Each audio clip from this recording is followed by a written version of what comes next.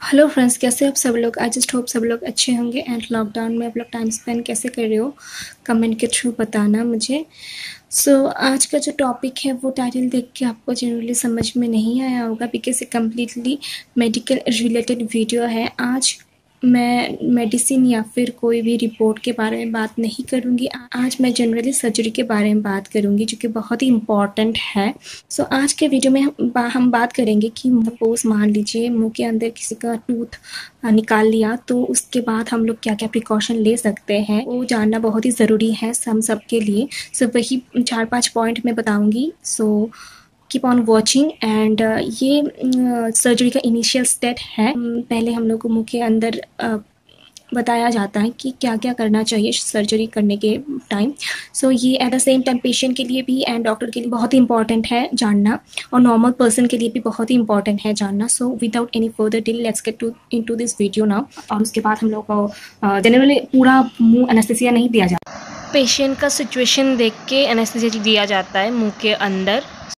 अगर इनकेस हमारा ब्लीडिंग रुक नहीं रहा सपोज़ हम लोग का ऑरल सर्जरी हुआ आइनर सर्जरी हो इन आवर माउथ तो ऑरल में क्या क्या क्या प्रिकॉशन ले सकते हैं हम लोग पोस्ट सर्जरी में? वही बात करूँगी आज मैं। फ़र्स्ट हम लोग क्या कर सकते हैं? अगर हम लोग का ब्लीडिंग रुक नहीं रहा तो फ़र्स्ट आप लोगों को ये करना चाहिए कि अगर जहाँ पे हम लोग का सर्जरी हुआ है वहाँ पे कॉटन एक बोल कॉटन रखना चाहिए वहाँ पे मुँह के अंदर। रुका एक घंटे के लिए आपको वो कॉटन रखना है। उसके बाद अगर आपको वो ब्लीडिंग नहीं रुका उस जगह से तो आप ठंडा पानी पी सकते हो। Otherwise 24 four hours post surgery के बाद आपको 24 फोर आवर्स ठंडा खाना है तो um, थोड़ा स्मूथ uh, चीज़ें खाना है पूरा हार्ड चीज़ हॉट चीज़ नहीं खाना है और गर्म चीज़ें नहीं खाना है। एंड 24 फोर आवर्स के बाद आप गर्म चीज़ें खा सकते हो। लेकिन और नेक्स्ट मेरा पॉइंट है उसमें आप uh, अपनी टंग से जीप से टंग से या फिर फिंगर से उसमें टच नहीं करोगे। सो so, अगर आप वहाँ पर टच करोगे तो ब्लीडिंग फिर से शुरू हो जाएगा और रिकवरी रिकवरी करने में बहुत टाइम लग जाएगा। सो थर्ड सेकेंड पॉइंट हो गया। अभी नेक्स्ट आता है। नेक्स्ट हम लोग क्या करना चाहिए? अगर आप आप में से कोई एडिक्टेड हो किसी भी चीज़ के लिए जैसे कि अल्कोहल एडिक्टेड हो या फिर तंबाकू एडिक्टेड हो वो सब 24 फोर आवर्स के लिए आप नहीं लोगे। अगर आपको जल्दी रिकवरी करना हो तो। उसके बाद आता है फोर्थ पॉइंट फोर्थ पॉइंट में हम लोग क्या करेंगे?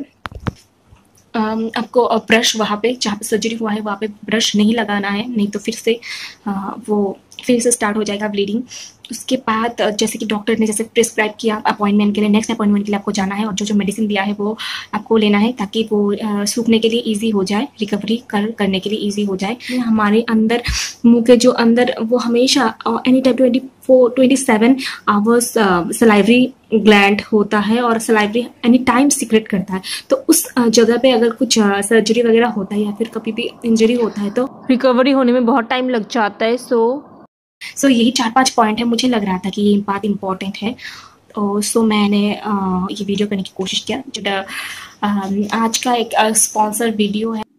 सो so, इस वीडियो में कुछ बताना चाहती हूँ। मामा अर्थ जो कि एक ब्रांड का नेम्स है और वो पॉलीथीन रिसाइकिल करके वो प्रोडक्ट्स बनाते हैं। मैंने यूज़ किया पर्सनली बहुत ही अच्छा रिज़ल्ट मिला और अभी थ्री हंड्रेड रुपीज़ ऑफ़ चल रहा है सब प्रोडक्ट्स में। सो आप लोग अगर लेना चाहते हो तो आप लोग ले सकते हो और स्किन के लिए बहुत ही अच्छा है। मैं आज कुछ कुछ प्रोडक्ट्स दिखा रही हूँ आपको और ये पैराबिन फ्री है सल्फेट फ्री है।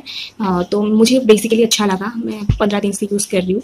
वो एक्चुअली मैं मेरा हमारे घर के सामने एक बेबी है उसको मैंने रिकमेंड किया तो उसको भी रिज़ल्ट अच्छा मिला। So that's why I am thinking कि मुझे ये बात आप लोगों से शेयर करना चाहिए। और इफ़ आप में से कोई भी लेना चाहते हैं तो डिस्क्रिप्शन में लिंक में दे दूँगी। आप लोग परचेस कर सकते हो वहाँ से। So that's it for this video I hope you like this video if you do then don't forget to like share subscribe and या I will see you in my next video. Till then, take care. Bye bye. Be safe and stay positive. Of course. Bye bye.